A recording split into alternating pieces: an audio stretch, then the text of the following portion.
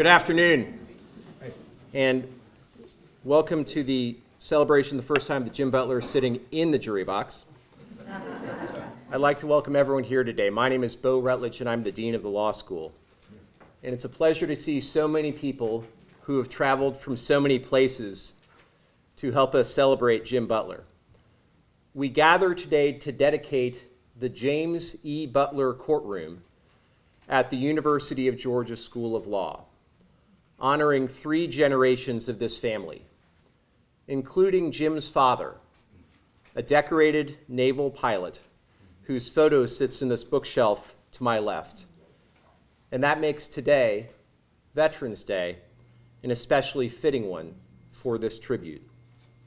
I'd like to take a moment to acknowledge many of the guests who are here today. University of Georgia President Jere W. Morehead, an alumnus of our school and longtime director of its advocacy program. Numerous members of the state and federal judiciary, some of whom Jim has appeared before. Former deans Rebecca Hanner White and David Shipley, both of you helped to build the relationship between Jim and this law school during your years of service. And so too did former Dean Ron Ellington, who wanted to be here today but was unable to attend due to a family commitment. And I would be remiss if I did not acknowledge the presence of Associate Dean Emeritus Paul Kurtz, the advocacy director once known as Hoyt, who supported Jim during his years setting records in the law school's critically acclaimed advocacy program, including when Jim became the first person in the history of the University of Georgia School of Law to win the first year Russell Moot Court competition and the second year Talmadge Moot Court competition, the finals of which happen to be taking place this very moment. I'd also like to welcome Jim's family and colleagues, one of whom, Joel Wooten, his longtime law partner, will introduce the family to you during his remarks in a moment.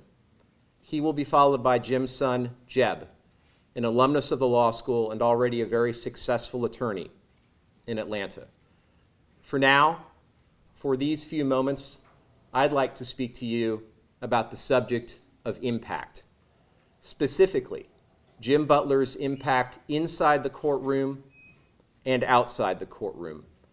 Inside the courtroom, Jim is known as a fierce advocate for his clients a hard-working voice for the voiceless, voiceless, and a formidable competitor.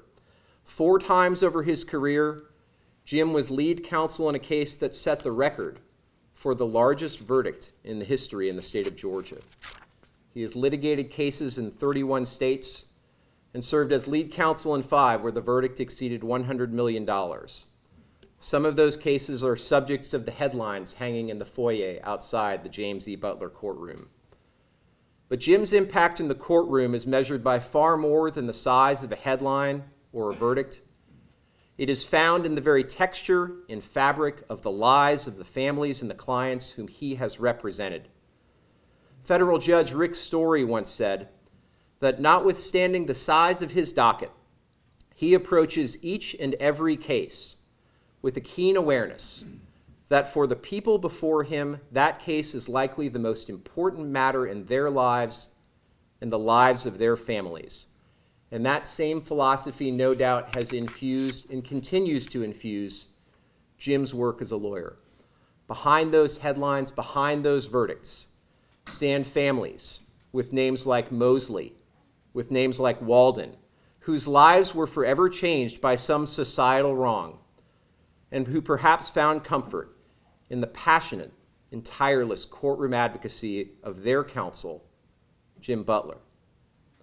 Outside of the courtroom, Jim has ranked among the law school's finest friends. His support has set the standard for transformational giving here at the law school. He personally has endowed one of the law school's marquee scholarships, and along with his partners, helped to create the Sic Vos non vobis scholarship through a settlement remainder fund. By gifts of this sort, Jim has allowed students to work toward their law degrees, to pursue, to pursue their own dreams, inspired by his example and not laboring under the specter of debt over them after graduation. Along with several others here today, Jim formed part of a group that helped launch last year's Challenge Fund, an unprecedented initiative that successfully doubled the law school's annual fund in a single year and thereby enabled the law school to offer 66 new scholarships to deserving students. Just like the impact of Jim's courtroom success, the impact of his friendship to the law school is also about more than numbers. It is about people. Butler scholars like Texas Morris, who now give voice to the voiceless as a public defender in Birmingham, Alabama. Here in this courtroom today are several students who currently benefit from Jim's support. The current Butler scholar, Grace Liu, and several Sic Vos scholars, including Campbell Brantley, Emily Esco, Christopher Johnson, Oliver Ladd, Curtis Lockaby, Megan McDonough, Cody Schubert, and Courtney Smith. Each of them comes to law school with a dream, and through this sort of support, Jim helps them realize it.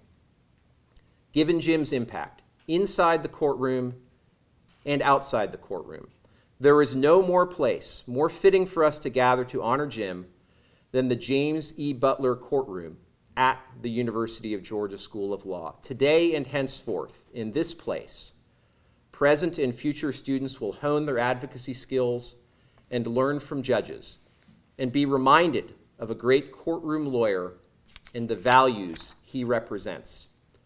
Jim Butler's investment in this institution and in his society is an investment in the people whose, whose lives he touches and who will reflect the values as they join him in a noble profession. They are walking monuments to Jim's legacy, much like this courtroom is a physical monument to the place where Jim Butler planted his flag and built his reputation as one of the nation's finest lawyers. And so, to offer a few words about this great lawyer, let me invite to the podium his longtime partner and a true friend of the law school, Mr. Joel Wooten.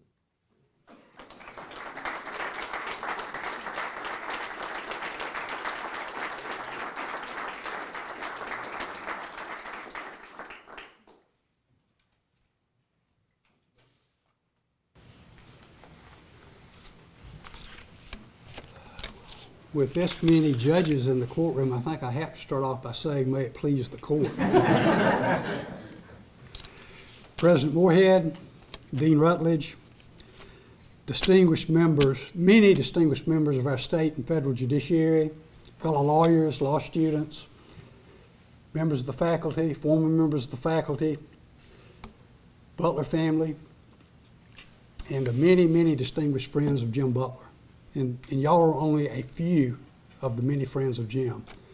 Uh, wish all of them could be here today, but there aren't enough seats in the law school to, uh, to, to hold all of them. What a remarkable, wonderful occasion. It is really a privilege and an honor for me to be here and to take part in this and to honor my longtime friend and my longtime law partner, for a lifetime of service to our profession and to this law school. Before I start, I want to uh, I want to recognize some of his family that's here today. First, uh, who will be speaking when I finish, his son Jeb, and Jeb's wife Ann. And Ann is about is expecting with Jim's second grandchild. Uh, daughter Emily, and her husband Justin Patterson and first grandchild, granddaughter Mary Catherine, daughter Catherine and David Gunter, brother Dennis. I know Dennis is here. Dennis's wife Judy, uh, and a very very special person in Jim's life, Kim Harris, and her daughter Ava Grace. Jim is not only a great lawyer, he's a great brother, an involved father, and a wonderful grandfather, although he's still in the learning phase on that. Boy, it's a good thing we're among friends because I see that Jim's got the uh, closing argument. That's never a good thing if you're a defendant. I first met Jim when, uh, I guess, fall quarter of 1969. I was a sophomore and he was a sophomore at the uh, university. Jim was a journalism major. He was a member of Sigma Phi Epsilon and later president. I was a business major, and we both had mutu- mutual interest in politics and student government. Over the next three years, we just kept running into each other, one event or another, and we became friends. It was in Athens that Jim and I first began, or at least I first began, Jim probably knew it earlier, began to realize that life was all about relationships.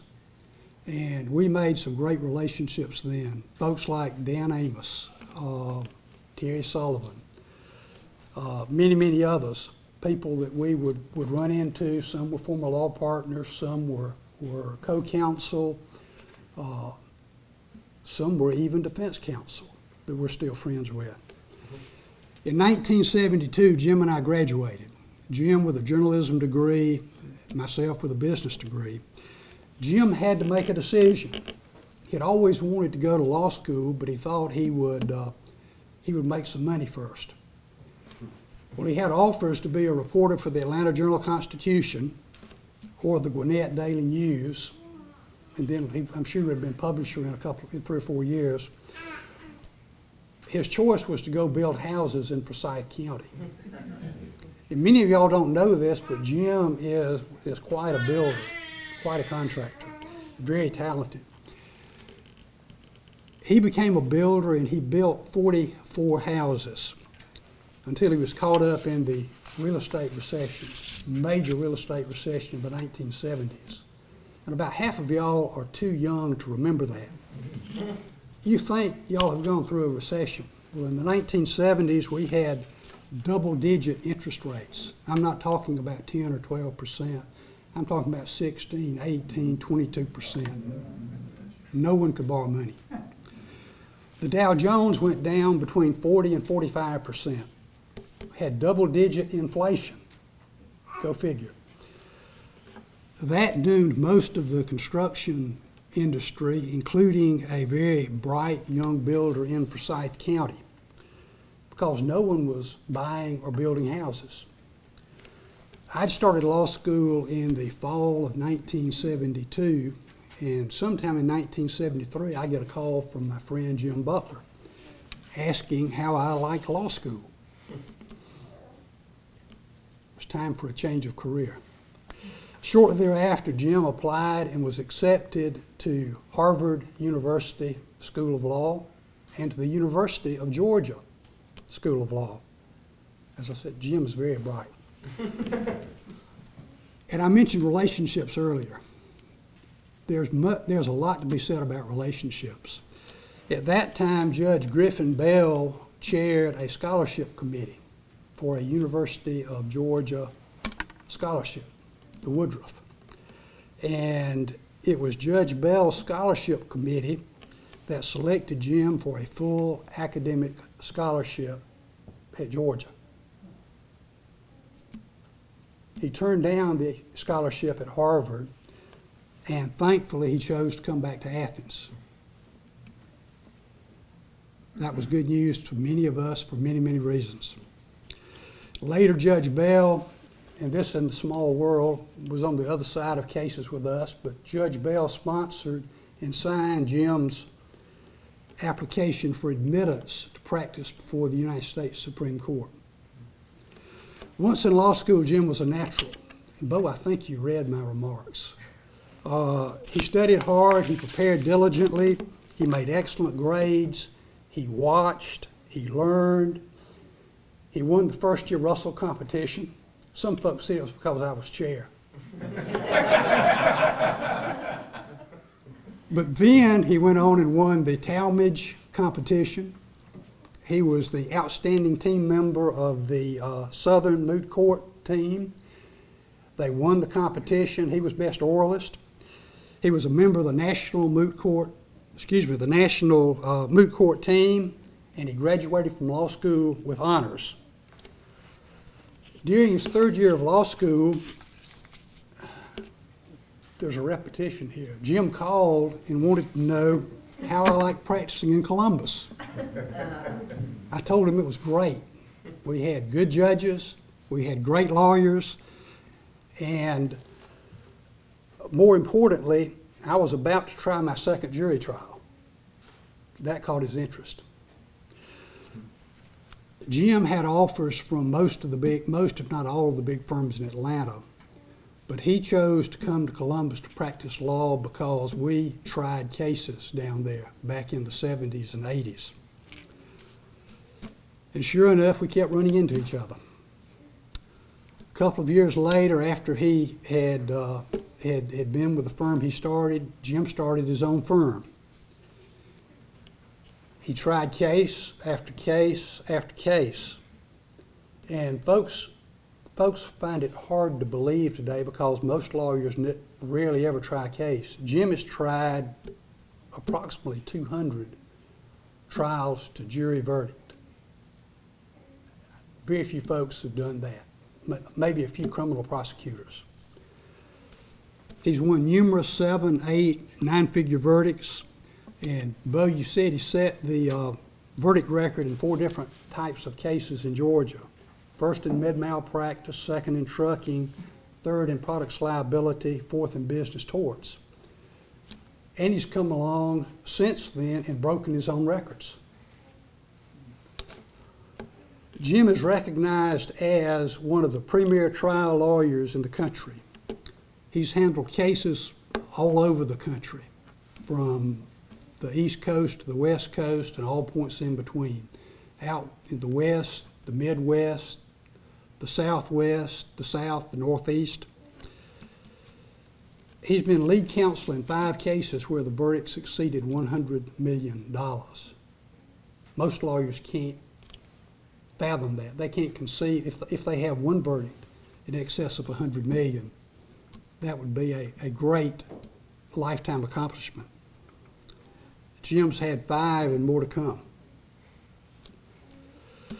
I'm not going to, going to go into Jim's biography. His, all of his bio materials on our website if you have a few minutes and want to look at it, along with some of his successes. I will say a few things though. Jim does a lot other than the practice of law. He's been president of the Georgia Trial Lawyers Association. He's been a member of the board of the Georgia Department of Natural Resources. He was the first recipient of the Daily Report's, the inaugural recipient of their Lifetime Achievement Award.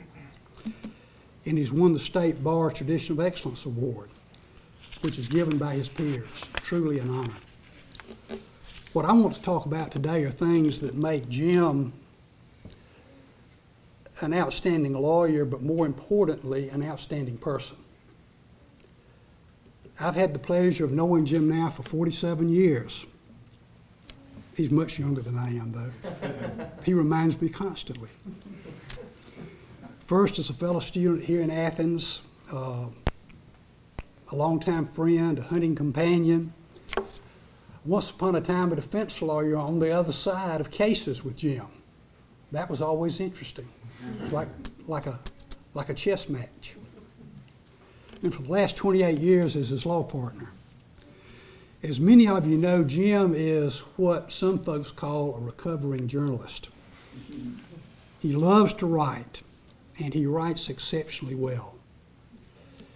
He also loves to train young lawyers to write, but more importantly, to think clearly and to think and write concisely, to communicate. Jim also believes in preparation. When Jim takes a case, he plans to try it. He plans to take it to jury verdict. And that's how he prepares it. I don't think he's ever taken a case saying, we'll send a letter, we'll settle it, and move on to the next one.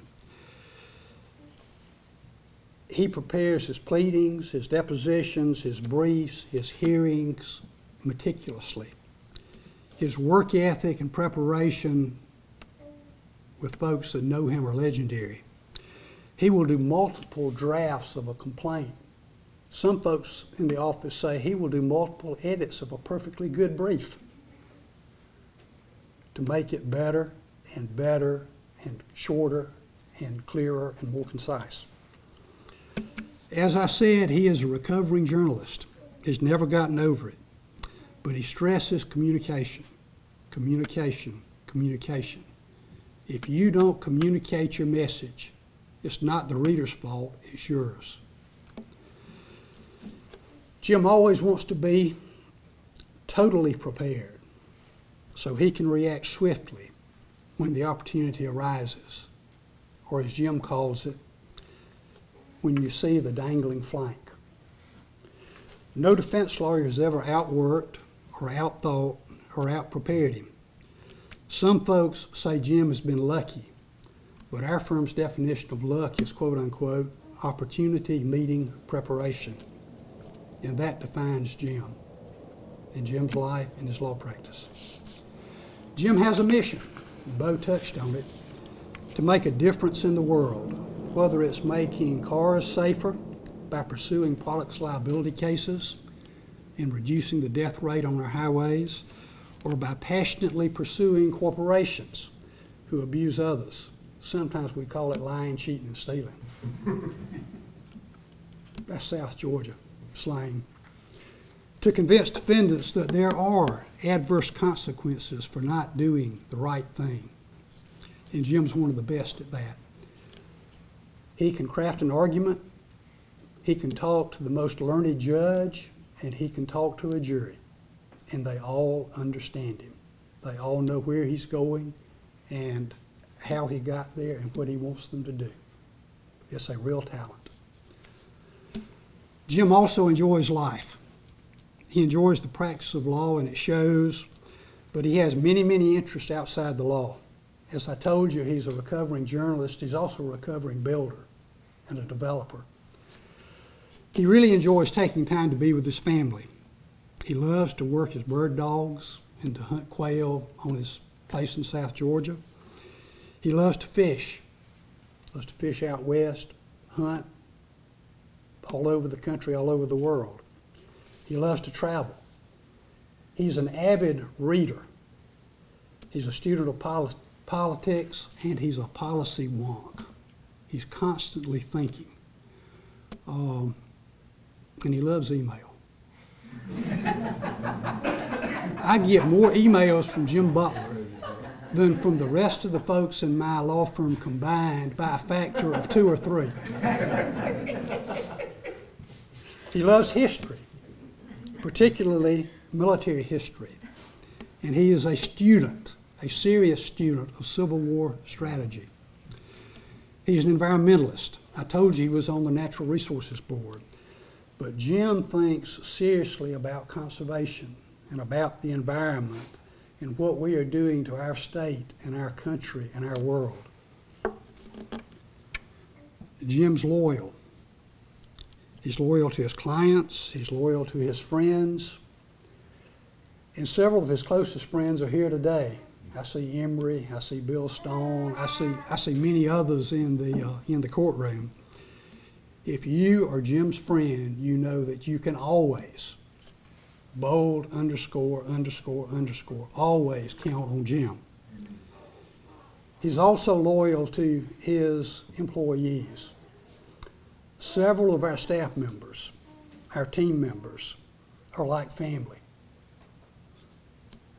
I don't know, him- we, we've got a number that have been with us for over 25 years, Twenty, over twenty years. Some over 25 years. Some over 25, 20 over twenty years. Yeah.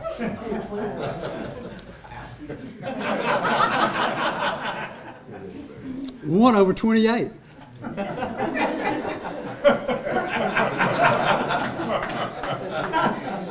But they are an integral part of our practice and they are a team. And that's another thing Ji- Jim stresses is teamwork. No one does it by themselves. Everyone works together. Our folks will be down there. We're getting ready for a trial. They'll be down there till seven or eight o'clock. They don't have to come in on Saturdays or Sundays. They just do. You'll see them Saturdays. You'll see them Sunday afternoon after church.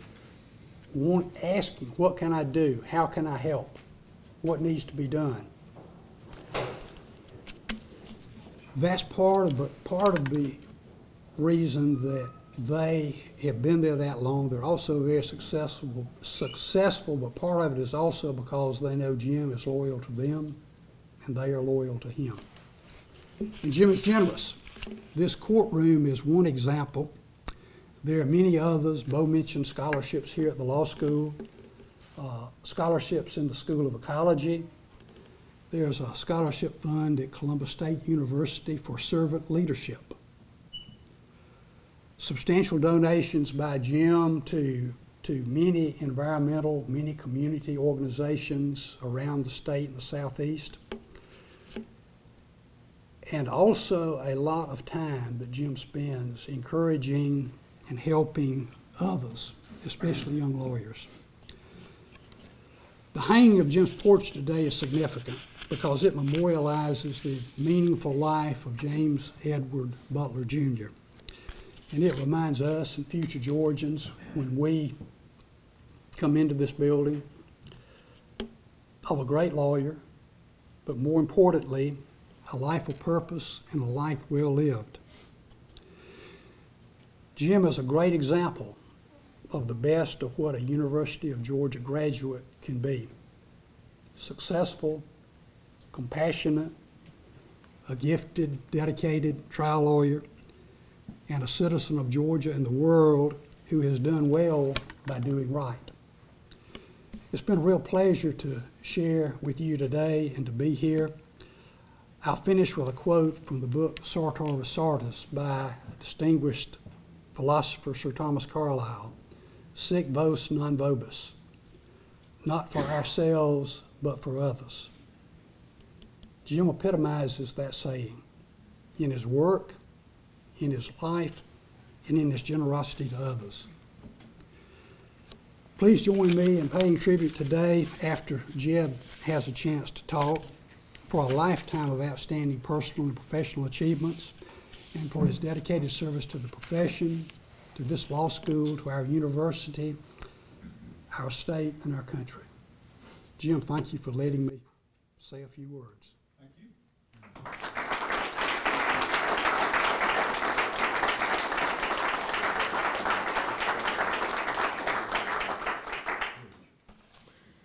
Good afternoon. Um, as you all know, I practice law in Atlanta, and it's not unusual for lawyers, particularly young lawyers, but sometimes older ones, to come up to me and ask what it is that makes uh, my father so special in, in, this profession.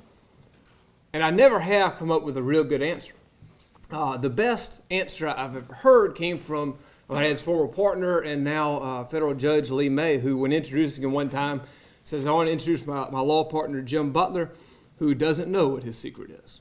and I think that that's true. Um, the best answer that I've come up with on my own is that he does what other lawyers just say they're going to do.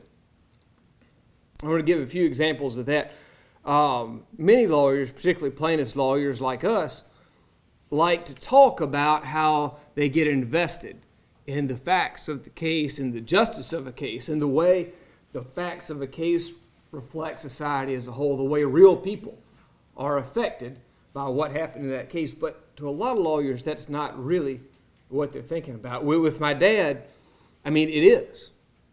The practice of law to him, I know, has never been, as it is to some, a financial gain, but has instead been an, an ability and an opportunity to right wrongs. I remember as a boy, um, a lot of a lot of what I learned as a boy I learned in Dad's pickup truck. We'd be driving from Columbus, Georgia, down to Stewart County, where we'd go hunting and fishing, and I would hear about his cases uh, on the way down there, just because it was on his mind and I was interested in it. So we'd talk about it, and I would hear about you know the Tompkins case in Columbus, Georgia, where some folks tried to um, steal an old lady's land, really, and he stopped him, stopped them cold. Never, so far as I know, earned a dime from that case.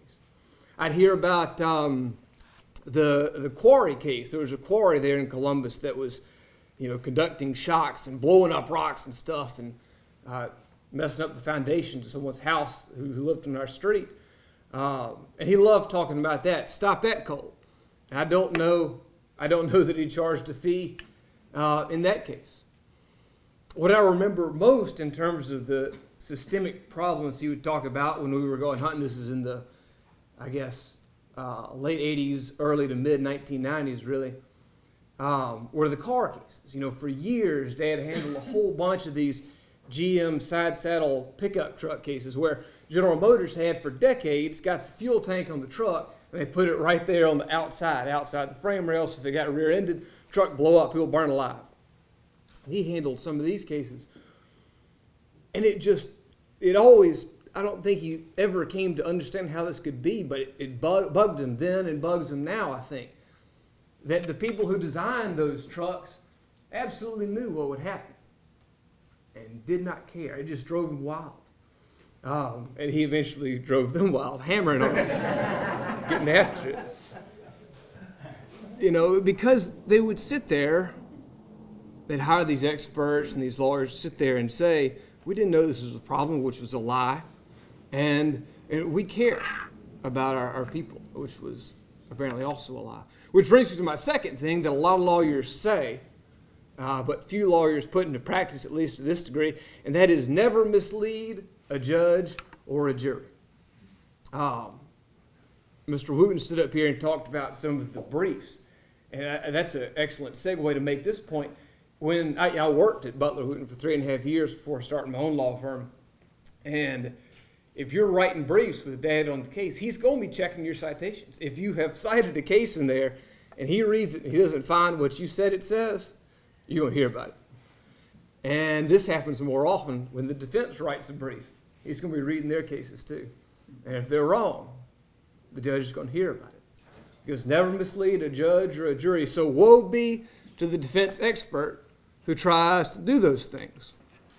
Um, last year, Dad and I tried to verdict a, a case involving a, a, Chrysler gas tank they put in the extreme rear of a vehicle. It would get hit, people would burn up. You, would think they would learn. They don't.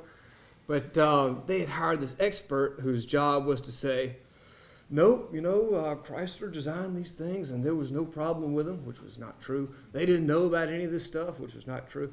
And the guy kept pushing it. He eventually took it too far. So he drawn this little diagram that he was going to show to the jury of the various parts on the back of this car. But he changed the name on one of them. If you looked at the engineering description, it described this little plate on the back as a cosmetic fascia a little plastic piece. But in the exhibit for the jury, the guy called it like protective shield. and I went to the deposition, you know, with Dad, and uh, we're in Detroit taking it. And you know, I'm I'm all for getting after this guy. I don't mind a little blood and gore in my law practice, so I'm I'm all for it.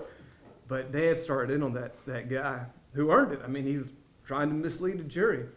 But if you imagine each each question as an arrow, that darn witness looked like a porcupine at the end, except the pointy parts was pointing in.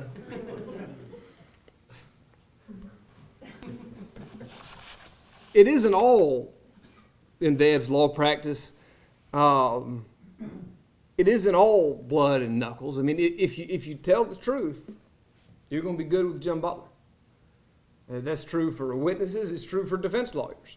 Um, I remember a story of uh, involving Tom Carlock. Uh, this is before I was practicing law, long before I was practicing law. But Dad and uh, Tom Carlock, who's a well-known defense lawyer, were trying a case, I think, in Columbus, and they got along well. Tom Carlock was a straight shooter, so was my father. So they agreed before trial uh, that they would just rule on each other's objections.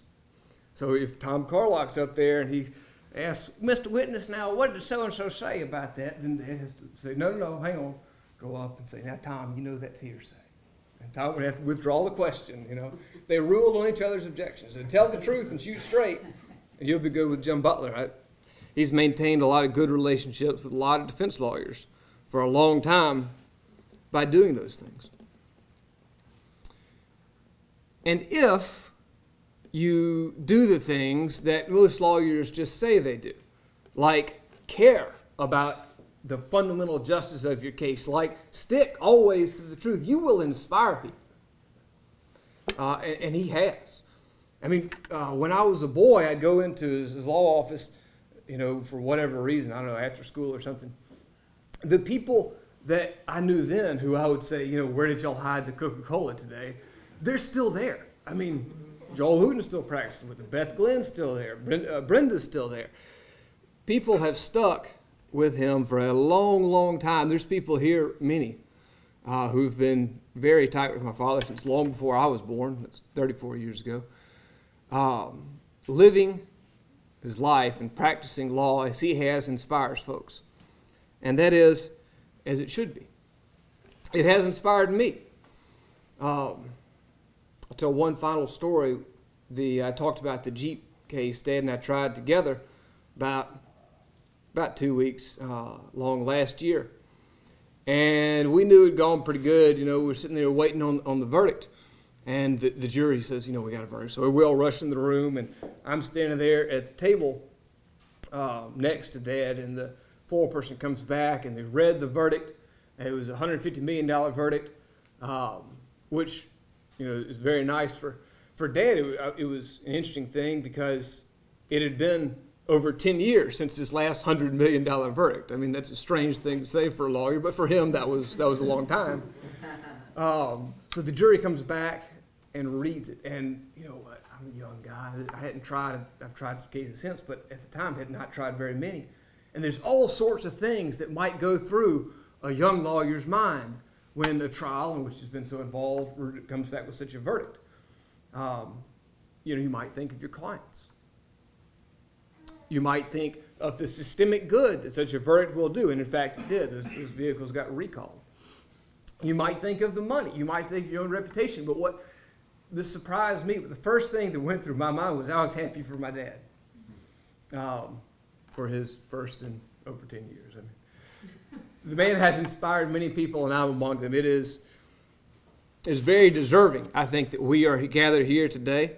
Uh, for my father has earned the respect, the affection, and the love that we in this room hold for him. Thank you.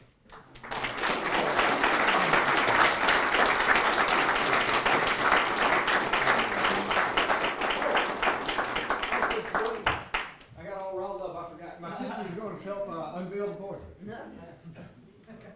I think this is a two-person job. Don't just do it all stand. Yeah, so if you want to just pull, lift off the back, here. Um, If you Catherine, want to come in the front. Okay. I'll help you out. I'm worried about my family. Right. Yeah, that's fine. What y'all do. All right, I think you're good. Yeah, yeah, yeah.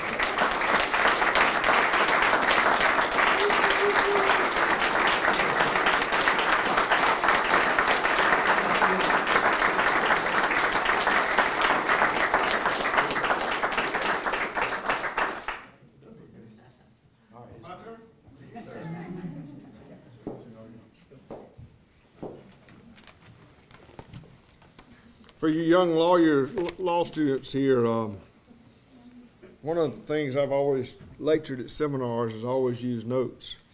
Churchill did. Abraham Lincoln did. John F. Kennedy did. Uh, they were pretty good speakers. I always use notes, particularly for some event like this, because I always forget somebody. I'm notorious for forgetting somebody. Uh, thank you, uh, Bo. Thank you, Joel. Thank you, Jeb. Those are very nice comments. I didn't really realize what a great guy I was. it's kind of it's kind of reassuring. My old buddy Gerald Davidson out there knows different, but you be quiet. Um, let me first, I, I want to thank a bunch of people. I want to first thank Beth Stephens, the artist. Beth, would you stand up? Um,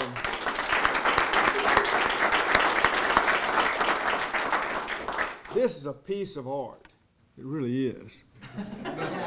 it is far better than the original. but it's not so much different than the original that would cause genteel people to say anything about that. it's pretty close. It made me much prettier than I really am. Thank you so much, Beth. Thanks also to the law school for this honor. Uh, I don't want to be like some people that um, when they get some sort of honor, they soon forget that it might have been based on something other than their own, their own merit, you know, like they knew somebody or something. But, uh, and I do want to acknowledge that I realize that contributions to the law school have something to do with this.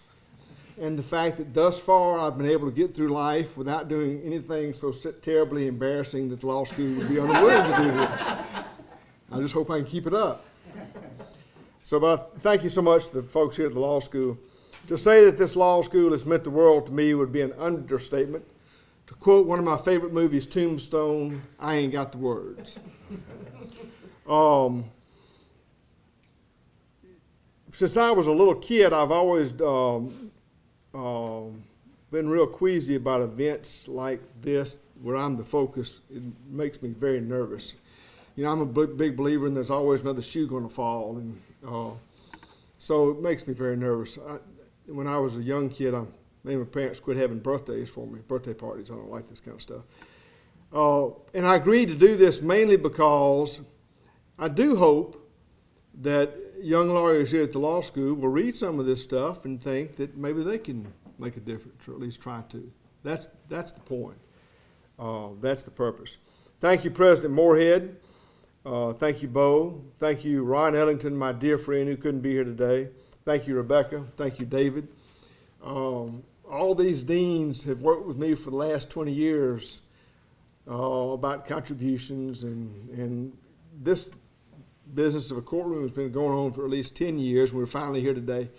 Um, and thanks to Ann Moser and um, Laura Pulliam and cousin Carrie Butler for their work in, in putting this event on. Uh, thank all of y'all for coming. I, I would not let the law school invite many people. My standard was family and people who I knew were going to be in Athens anyway, or, who, or live here. Laura will tell you. I wouldn't, do it because I don't want to inconvenience anybody. Um, I'll start with my beloved Kim Kofer Harris, who's here with her lovely daughter Ava, who's now 11. Um, Kim and Ava mean a lot to me. Kim's made a big difference in my life. She is the most relentlessly positive person I've ever known. She's also a graduate of this law school, and she's living proof um, that uh, defense lawyers can like me.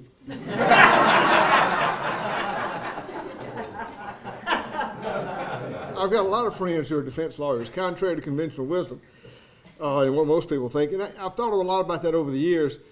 And uh, for whatever it's worth, a little philosophy. Um, for many people, their perceptions of others have more to do with their own projections than with reality.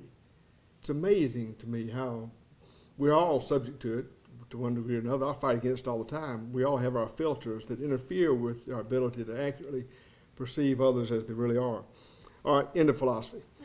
Thanks to my children for coming here uh, Jeb and Ann, Emily and Justin, um, Catherine and David, Catherine the second.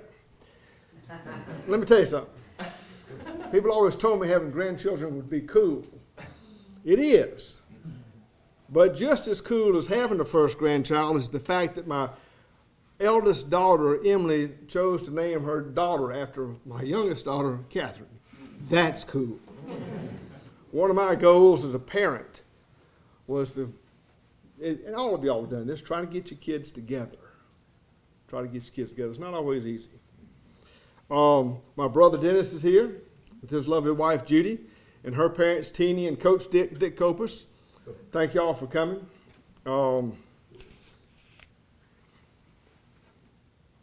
brothers are really important in life um, they were to my grandfather and his brothers, to my father who died in March, and to his brother who's in the hospital now.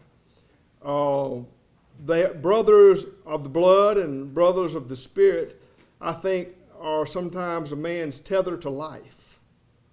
And I've got a lot of brothers. While we're talking about my brothers, I'll talk about my best friend, Bill Stone, who's back here and the rest of my family, we call them the Rocks, the Stone family. There's, Bill had five children. Two of them are lawyers here today Ryle Stone, James Stone. They're here. Ryle's here with his lovely wife, Lauren. Uh, Bill and I raised our kids together. Bill and I have been in so many battles of so many different types over the years. Some of y'all who know us know what, what I'm talking about political, legal, and otherwise. And um, we've done well. On the child front, we are eight for eight, and we're rolling for 16 for 16 and making good progress. I also want to thank some of the friends who are here who've been stuck with me for most of my life. Wes and Linda Walraven, who've been my friends for 49 years since I was 16 years old. Emery and Jeannie Lipscomb, who've been my friends for 46 years.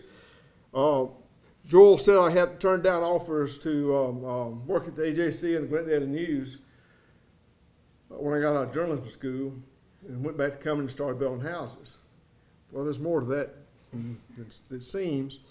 I was talking to Emery about uh, the offers that I had. Glendale News, Bob Fowler made me a hell of an offer. He'd make me publisher in four years, he said, give me 10% of the company.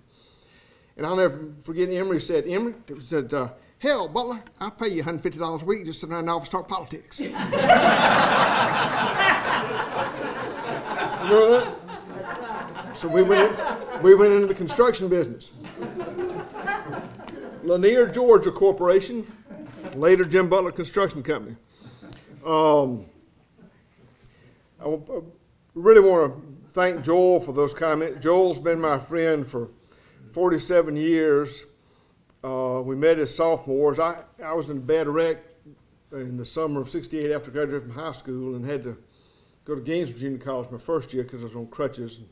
Anyway, I came over here as a sophomore, and um, um, I first met my met Joel uh, in campus politics. Uh, my assignment from some of the some of the old sages, you know, the seniors, was to go to the convention of Student Representative Assembly (SRA) and make sure Joel did not get nominated for vice president of the student body because they knew that the, the party elders knew we were going to lose that year, and they didn't want him to be on a losing ticket. They wanted to save him for the next year. Uh, Dan Amos was in our, our party. We, we were all members of the, of the conservative campus political party, doing battle against those raging liberals led by Terry Sullivan. um, Dan and I were lieutenants in Joel Wooten's army, is the, is the truth of the matter. Right, Dan? Um, thanks to my partners, uh, my partners uh, couldn't be here today. Uh, Brandon, except for Joel, Brandon's getting ready for trial Monday, and I told him this morning, "You are not going to Athens." uh, and I told Buddy and and um, Teeter not to come to stay at work because it's not worth the trouble. Al Pearson is here. My former partner, Al Pearson, who was my criminal law professor in, in law school. Um, Professor of criminal law. Yes.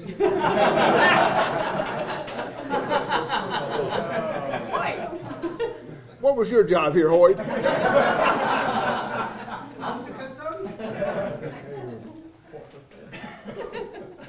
Al's uh, most crowning achievement professionally is that he was Grand Coot of the Coot Hounds.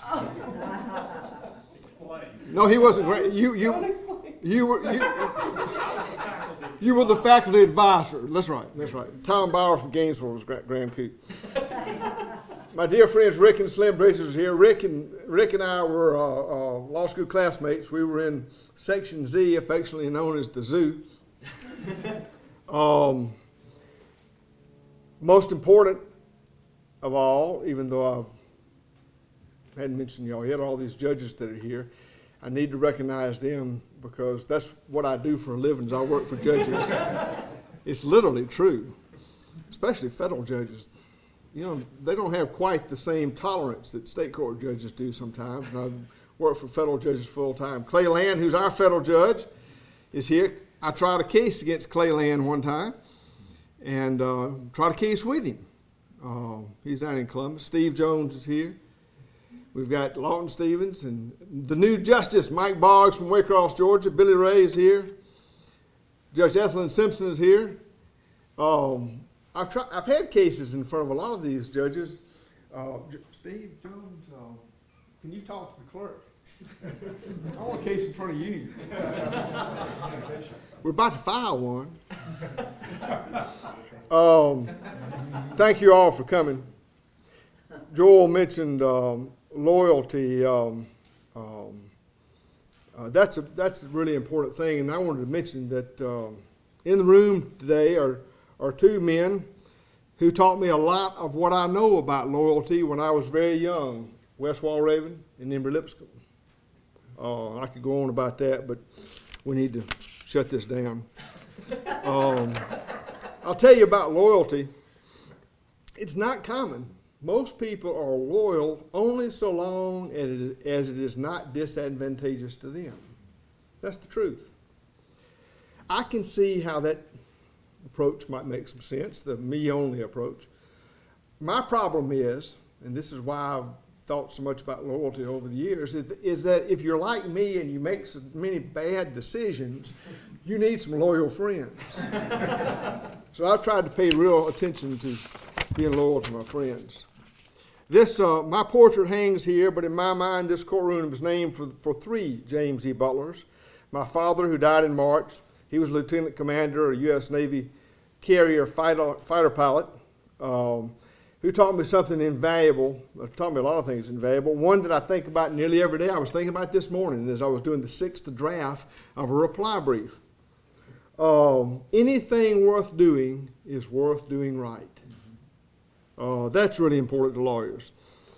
Courtroom is also for my son Jeb, whose decision to do as I have done or tried to do still chokes me up. Who, like me, is trying to change the world one case at a time, and who is a better man and a better lawyer than I've ever been. I have been incredibly lucky in life. I, I was blessed with intelligence, I'll admit that. I was, ble- I was also blessed with the ability to work hard. That is a God given talent, no different than Barbra Streisand's ability to sing. I didn't have anything to do with it. I've always been that way. And um, I've been lucky. I was I, throughout life. I've been mostly very lucky. Moving to Columbus, Georgia, was lucky. Dean Ralph Beaird is the one that steered me down there, because he said Columbus had the best trial bar in the South. I've tried cases all over the place. I've never seen a place that comes close. I mean, it was what a great place to learn, and what a great. I was just lucky about when I came along. We tried cases. I tried 18 cases. Started 17 cases one year, jury trials. Got 14 verdicts. Um, there is, and it's still great fun. There seems to be a never-ending abundance of arrogant bad guys to bring to justice. Um, this this is uh, the, I think what I've been doing, what I, the job I've got is the greatest job in the world. Speaking of doing good, last night Clarence Ditlow, head of the Center for Auto Safety, died after a bout with cancer. Now y'all read about Clarence Ditlow if you get a chance in the newspapers. Uh, you want to talk about somebody who who is sort of like Ralph Nader, who's done so much good. Everybody's Ralph, what he did in 2000 rankles some people the wrong way. But uh, those people, when it comes to automotive safety, they're saving tens of thousands of lives every year because of the work they've done over the lifetime. So I wanted to mention that. Thanks again to the law school for this great honor. I'm deeply honored. Uh, I appreciate it. Thank you, Ms. Stephens, for putting me up so well. And thanks to all of y'all for coming.